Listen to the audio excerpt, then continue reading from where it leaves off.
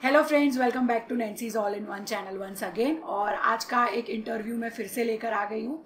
और आज का इंटरव्यू भी यस मैडम के बारे में ही है। आज मेरे साथ जो जुड़े हैं उनका नाम है माधुरी जी गंगाराम यामा।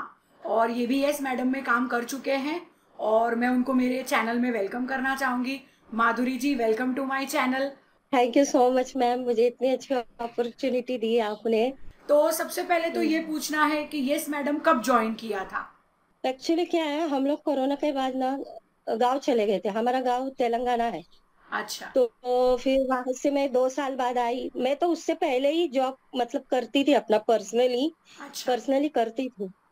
तो कोरोना के बाद तो पता है आपको कैसी सिचुएशन हो गई थी सबकी। हम्म, हम्म, हम्म। कोई गाँव चला था कोई किधर चला गया। तो मेरी पूरी फैमिली हम सब गाँव चले गए थे। तो उधर मैं रही दो साल। फिर दो साल बाद मैं अकेली आई बॉम्बे। फिर मैंने अपना सारा सेटअप किया सब कुछ किया। फिर मैं अपना पर्सनली काम भी करती थी पार्लर का। फिर मुझे साथ ही साथ ऐसे लगा कि मुझे अपने काम को और ज़्यादा अच्छे से बढ़ाना चाहिए आगे। अच्छा। तो उसके उसके लिए मुझे कुछ ऑप्शन नहीं मिल रहा था। तो हम्म, एक दिन मैं फेसबुक देख रही थी तो फेसबुक में मुझे वो एड्स आते हैं ना अलग अलग हाँ, कंपनियों हाँ, से हाँ तो हाँ, ऐसे इस मैडम का एड आ रहा था तो मैंने उसको ज्वाइन करके देखा। तो अच्छा, उसमें मैंने क्लिक कर दिया।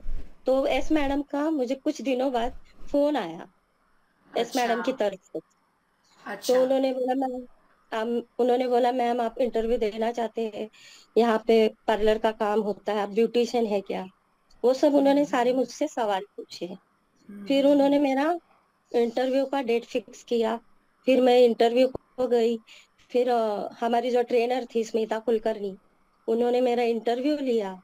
फिर मुझे ट्रेनिंग में डाला गया। मेरी हम्म, ट्रेनिंग पंद्रह दिन की ट्रेनिंग थी। पंद्रह अच्छा। दिन की ट्रेनिंग के बाद हमारा पंद्रह दिन का एग्ज़ाम भी लिया गया वहाँ पे। फिर एग्ज़ाम के बाद फिर मेरा अठारह मई से मेरा जॉब शुरू होगा अठारह मई 2023 तो आप कौन से फ़ील्ड में थे? मेकअप में थे पार्लर में थे? मैम जो नवी मुंबई में जो एस मैडम है नवी मुंबई मतलब बॉम्बे बॉम्बे तरफ़ जो एस मैडम है उसमें से पर्सनल केयर है। उसमें अच्छा। से ब्यूटी का काम होता है। ब्यूटी का उसमें जॉनर में गिनते हैं। हाँ ब्यूटी में आपको सिर्फ़ क्या आएगा?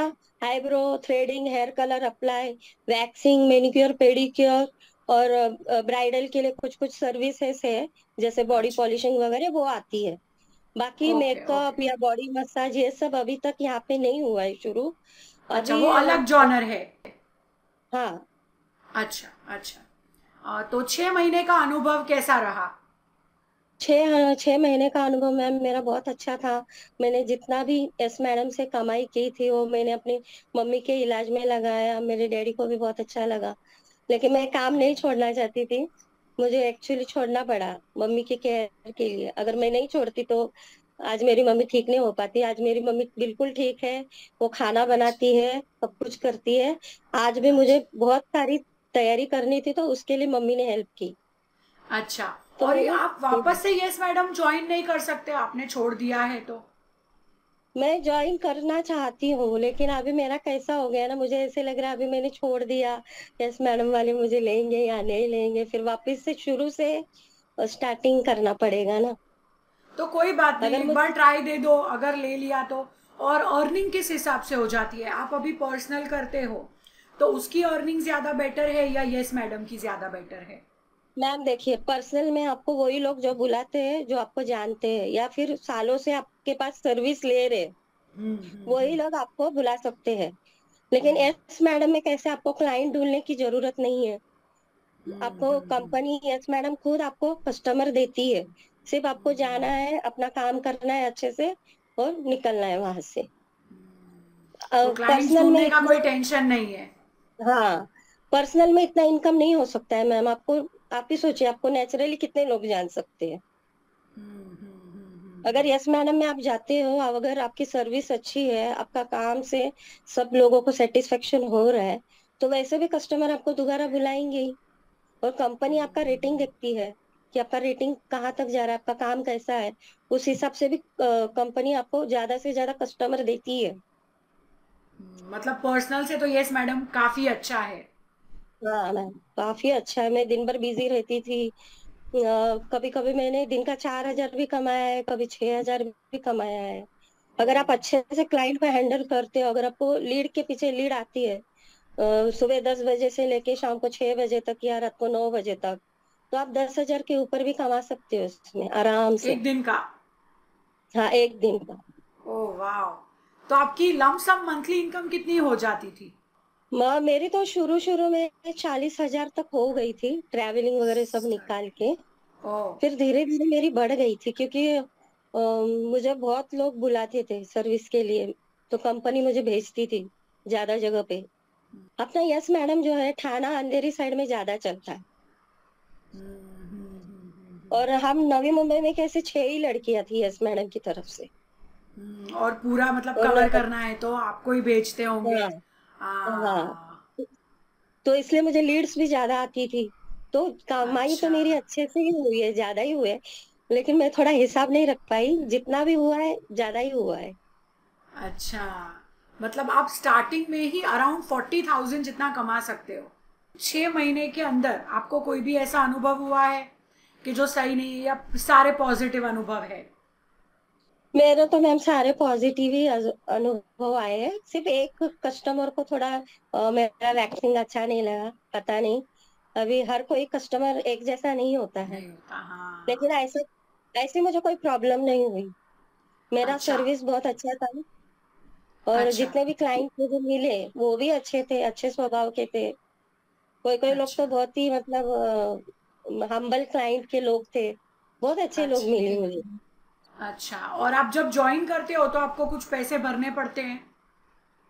देखिए मैं मैं जब गई थी एस मैडम में इंटरव्यू देने के लिए फिर मेरा इंटरव्यू लेने के बाद मुझे बताया गया था कि जैसे कॉस्ट्यूम है हमारा एस मैडम का अच्छा। उसके लिए कुछ पे करना पड़ता है। जैसे ट्रेनिंग ट्रेनर है आपकी ट्रेनिंग लेगी तो उसका भी आपको कुछ ना कुछ तो देना पड़ेगा ना। तो अच्छा, इतनी मतलब ज़्यादा पैसे देने पड़ते हैं। हाँ इतनी ज़्यादा फ़ीस नहीं है दो हज़ार पाँच सौ तो कुछ भी नहीं है मैम। अच्छा मतलब उतने ही है उससे ज़्यादा नहीं है। हाँ ज़्यादा नहीं है। हाँ अगर कोई प्रो बहुत ही पुरानी है मतलब उसको नहीं आता है कुछ भी। ज़ीरो ब्यूटी का कोई भी काम नहीं आता है बेसिक से ही सारा कुछ सीखना है। हाँ सीखना है तो फिर उनका कुछ चार्जेस अलग होंगे वो तो मुझे नहीं मालूम। क्योंकि अच्छा, मैं इस अच्छा। फ़ील्ड में क्योंकि मैं इस फ़ील्ड में काफ़ी पुरानी हूँ 2200 में अपना काम कर रही हूँ। तो मुझे वैसी कोई दिक्कत नहीं आई। अभी आप अपना पर्सनल करते हो? अभी मैं थोड़ा पर्सनल कर रही हूँ यस मैडम छोड़ने के बाद क्योंकि मम्मी की तरफ़ भी ध्यान देना था। मम्मी की केयर करनी थी। तो मैं उसके साथ साथ वो एक ही लेती थी पूरे दिन में। मुझे जैसे होगा वैसे लेती थी करती थी। अभी भी मैं वैसे ही कर रही हूँ। अच्छा मतलब आपको घर पे भी टाइम देना है और कमाना भी। तो आप ऐसा हाँ। नहीं कर सकते कि आपने यस मैडम में दिन की एक लीड ली बाकी सब जाने दी और उसी में कंटिन्यू करो। कर सकते हैं मैम अभी मेरी मम्मी ठीक हो गई है अभी मैं कर सकती हूँ। तभी क्या मुझे थोड़ा मेरा सिचुएशन थोड़ा अलग था। मैं बोल नहीं सकती थी। हाँ। और मुझे हेल्पिंग हैंड भी नहीं था ना यहाँ पे मैम मैं अनमेरिड हूँ सब कुछ मुझे अकेले कोई करना है। घर भी संभालना है डैडी को सुबह उठ के खाना भी बना के देना है मम्मी की केयर भी करनी है तो वो फिर बहुत मुश्किल हो जाती है। तो अगर कोई है कि जिसको यस मैडम ज्वाइन करना है तो क्या सलाह दोगे आप उनको? यस मैडम ज्वाइन करना है तो बहुत अच्छी बात है उन लोगों के लिए जो भी ज्वाइन करना चाहते हैं, कर सकते हैं, क्योंकि आजकल जो सिचुएशन चल रही है हमारी, कोरोना के बाद की, किसी के पास काम ही नहीं है करने के लिए, किसी की इनकम अच्छी नहीं हो रही है, किसी के हस्बैंड की जॉब चली गई है तो वो लोग ज्वाइन कर सकते हैं मैम। बहुत अच्छी इनकम है यहाँ पे। देखो आप खुद को सपोर्ट करोगे ना तो आप अपनी फैमिली को भी सपोर्ट कर सकते हो। और आज का डेट हम्म। ही ऐसा है मतलब आजकल जो चल रहा है आप बिना फैमिली के और बिना सपोर्ट के नहीं चल सकते। आप खुद खुद के सपोर्टर बनो या फिर आप खुद अपनी फैमिली को सपोर्ट करो। तो कुछ करना है आपको लाइफ में कुछ करके दिखाना है तो आप ज़रूर यस मैडम ज्वाइन कीजिए। यस मैडम में कुछ ऐसा मतलब ये नहीं है कि आपको कुछ ऐसा हो जाएगा तो कुछ ऐसा कर देगी कंपनी ब्लॉक कर देगी या कुछ ये कर देगी। आपका काम अच्छा है ना आप अपने काम में हंड्रेड परसेंट देते हो अपना तो आपको कंपनी क्या कोई भी नहीं निकाल सकता। आप अपना काम अच्छा रखिए। अगर जिनको भी एस मैडम ज्वाइन करना है ना सबसे पहले तो वो एक छोटा मोटा कोर्स कर ले पर्सनल केयर का जिसमें अच्छा। जैसे आईब्रो आ गया वैक्सिंग वैक्सिंग आ गया मेनिक्योर पेडिक्योर आ गया थोड़ा कलर एप्लीकेशन का आ गया। ऐसे पर्सनल केयर के भी छोटे छोटे कोर्सेज होते हैं। वो कीजिए और फिर यस मैडम में आइए इंटरव्यू दीजिए। फिर जो वहाँ पे ट्रेनर होते हैं वो ट्रेनिंग देते हैं आपको।